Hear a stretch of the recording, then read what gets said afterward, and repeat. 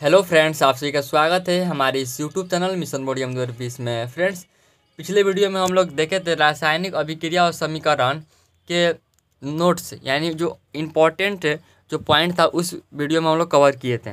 Friends आप लोग उस वीडियो को नहीं देखे हैं तो वीडियो का वीडियो को जाकर देख लें और इस वीडियो के डिस्क्रिप्शन में आपको उस वीडियो का लिंक दिया जाएगा। आप लोग वहाँ से देख सकते हैं। फ्रेंड्स हम लोग इम्पोर्टेंट नोट्स कर चुके थे। जो आपके जो केमिस्ट्री का फ़र्स्ट चैप्टर है क्लास टेंथ का, रासायनिक अभिक्रियाएँ और समीकरण, का हम लोग इम्पोर्टेंट जो पॉइंट्स होता है, उसको कवर कर चुके हैं। इस वीडियो में हम लोग इम्पोर्टेंट क्वेश्चन को कवर करेंगे। फ्रेंड्स आप लोग हमारे चैनल पर पहली बार विज़िट कर रहे हैं तो चैनल को सब्सक्राइब करके बेल आइकन को ज़रूर प्रेस कर लें। चलिए इस वीडियो को स्टार्ट करते हैं। देखिए, जो पहला क्वेश्चन है सी ए ओ का समान नाम है। सी ए ओ का समान नाम, यानी जनरल नेम क्या होता है? तो इसका आंसर होगा चूना पत्थर। जो सी ए ओ होता है, वह क्या होता है? तो चूना पत्थर होता है। देखिए नेक्स्ट जो क्वेश्चन है सोडियम हाइड्रोजन कार्बोनेट एंटासिड का एक मुख्य संघटक क्यों होता है? सोडियम हाइड्रोजन कार्बोनेट एंटासिड का एक मुख्य संगठक क्यों होता है? तो इसका उत्तर जो होगा सोड क्योंकि सोडियम हाइड्रोजन कार्बोनेट एक क्षारीय पदार्थ है, यह एसिड को उदासीन कर देता है। क्योंकि सोडियम हाइड्रोजन कार्बोनेट एक क्षारीय पदार्थ है, यह एसिड का, एसिड को उदासीन कर देता है। यानी जो अम्ल होता है, उसको उदासीन कर देता है। देखिए, जो नेक्स्ट क्वेश्चन है, रासायनिक अभिक्रिया में अभिकारक और उत्पादों को किन भौतिक अवस्थाओं में दर्शाया जाता है? रासायनिक अभिक्रिया में अभिकारक और उत्पादों को किन भौतिक अवस्थाओं में दर्शाया जाता है? तो इसका उत्तर होगा ठोस। इसको हम लोग एस से डिनोट करते हैं, द्रव्य, यानी आई गैस, यानी जी जी से डिनोट करते हैं और जलीय बिलियन ए क्यू हम लोग जलीय बिलियन को किस चीज़ से सूचित करते हैं? तो ए क्यू के रूप में हम लोग करते हैं। जो क्वेश्चन था रासायनिक अभिक्रिया में अभिकारक और उत्पादों को किन किन भौतिक अवस्थाओं में दर्शाया जाता है? इसका आंसर हो जाएगा ठोस, द्रव्य, गैस और जलीय अवस्था, यानी जलीय विलियन में। देखिए नेक्स्ट जो क्वेश्चन है, क्या होता है जब मैग्नीशियम रिबन को वायु की उपस्थिति में जलाया जाता है? क्या होता है जब मैग्नीशियम रिबन को वायु की उपस्थिति में जलाया जाता है? तो इसका उत्तर होगा, यह सफ़ेद रंग का मैग्नीशियम ऑक्साइड बनाता है। क्वेश्चन है, क्या होता है जब मैग्नीशियम रिबन को वायु की उपस्थिति में जलाया जाता है? तो इसका आंसर होगा, यह सफ़ेद रंग का मैग्नीशियम ऑक्साइड बनाता है। देखिए, जो नेक्स्ट क्वेश्चन है, देखते हैं हम लोग इस, देखिए, जो नेक्स्ट क्वेश्चन है, श्वसन को उष्माक्षेपी अभिक्रिया क्यों कहते हैं? श्वसन को उष्माक्षेपी अभिक्रिया क्यों कहते हैं? कारण दीजिए। तो देखिए, इसका आंसर होगा, श्वसन क्रिया जो हमारे कोशिकाओं में नियंत्रित होती है, यह एक प्रकार की उष्माक्षेपी अभिक्रिया है भोजन से प्राप्त हाइड्रो कार्बोहाइड्रेट टूटने के बाद ग्लूकोज में बदल जाता है, जो श्वसन का, श्वसन अभिक्रिया में ऑक्सीजन के साथ मिलकर हमें ऊर्जा प्रदान करता है। चूँकि उष्माक्षेपी अभिक्रिया में भी ऊर्जा निकलती है, इसलिए श्वसन को उष्माक्षेपी अभिक्रिया कहते हैं इस क्वेश्चन को फिर से रिपीट करते हैं। देखिए, जो क्वेश्चन है, श्वसन को उष्माक्षेपी अभिक्रिया क्यों कहते हैं? कारण दीजिए। तो इसका आंसर क्या होगा? श्वसन क्रिया जो हमारी कोशिकाओं में नियंत्रित होती है, यह एक प्रकार की उष्माक्षेपी अभिक्रिया है।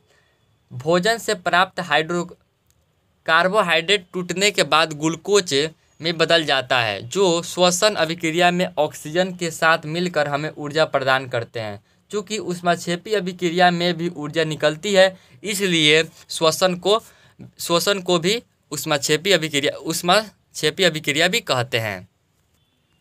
देखिए, जो नेक्स्ट है, उस अभिक्रिया का नाम बताएँ, जिसमें दो या दो से अधिक अभिकारक मिलकर एक एकल उत्पाद बनाते हैं, इस अभिक्रिया का एक संतुलित समीकरण दीजिए। उस अभिक्रिया का नाम बताएँ, जिसमें दो या दो से अधिक अभिकारक मिलकर एक एकल, यानी एकल उत्पाद बनाते हैं, इस अभिक्रिया का एक संतुलित समीकरण लिखिए। तो इसका आंसर क्या होगा? संयोजन अभिक्रिया।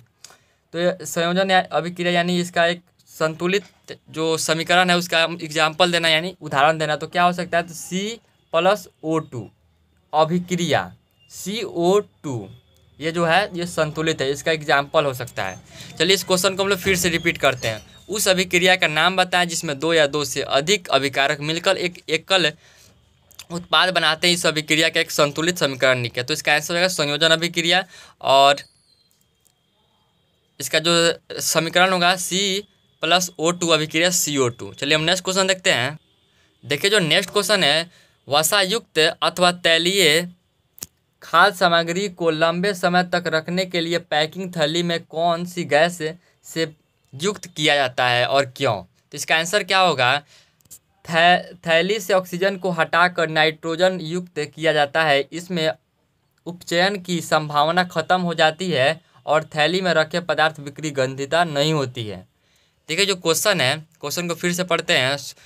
वसायुक्त अथवा तैलीय खाद्य सामग्री को लंबे समय तक रखने के लिए पैकिंग थैली में कौन सी गैस से युक्त किया जाता है और क्यों? तो इसका आंसर हो गया, थैली से ऑक्सीजन को हटाकर नाइट्रोजन युक्त किया जाता है। इसमें, इससे उपचयन की संभावना खत्म हो जाती है और थैली में रखे पदार्थ विकृत, गंधित हो जाते हैं, यानी नहीं होते हैं, नहीं हो पाते हैं। जब इसमें ऑक्सीजन को हटाकर हम लोग नाइट्रोजन गैस भर देंगे तो विकृत गंधिता नहीं होगी।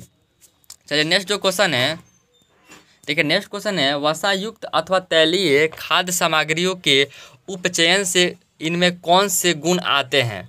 तो इसका आंसर होगा, वे विकृत गंधित गंधित हो जाते हैं। चलिए नेक्स्ट क्वेश्चन देखते हैं हम लोग। देखिए जो नेक्स्ट क्वेश्चन है, वसायुक्त अथवा तैलीय खाद्य सामग्रियों के उपचयन।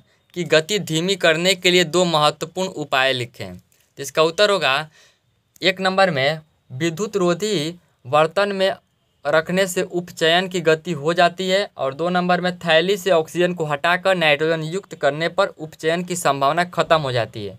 पहला जो पॉइंट होगा, वायु, वायुरोधी बर्तन में रखने से उपचयन की गति कम हो जाती है और दो नंबर में निकलेंगे हम लोग थैली से ऑक्सीजन को हटाकर नाइट्रोजन युक्त करने से उपचयन की संभावना खत्म हो जाती है।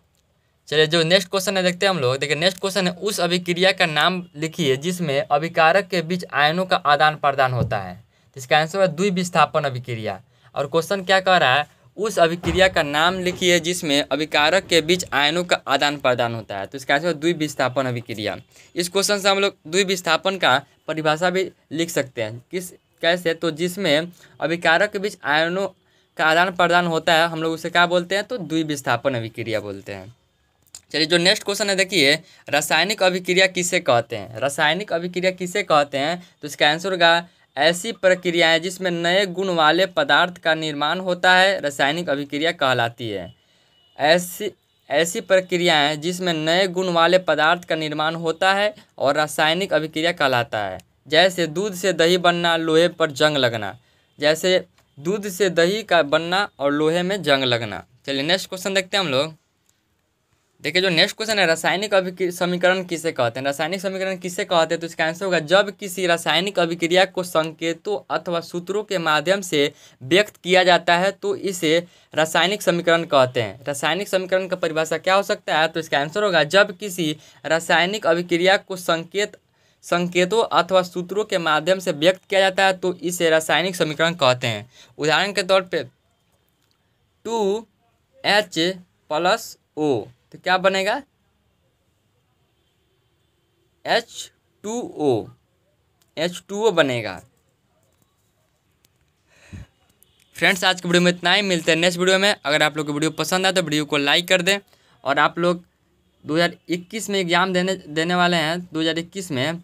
मैट्रिक यानी टेंथ का एग्ज़ाम देने वाले हैं तो इस चैनल को सब्सक्राइब करके बेल आइकन को ज़रूर प्रेस कर लें, क्योंकि इस पर इस चैनल पे टेंथ का पूरा सिलेबस पढ़ाया जाएगा और इंपॉर्टेंट क्वेश्चन की वीडियो प्रोवाइड कराया जाएगा। इसलिए चैनल को सब्सक्राइब कर लें और चैनल को अपने दोस्तों में ज़रूर शेयर करें। चलिए हम लोग मिलते हैं नेक्स्ट वीडियो में।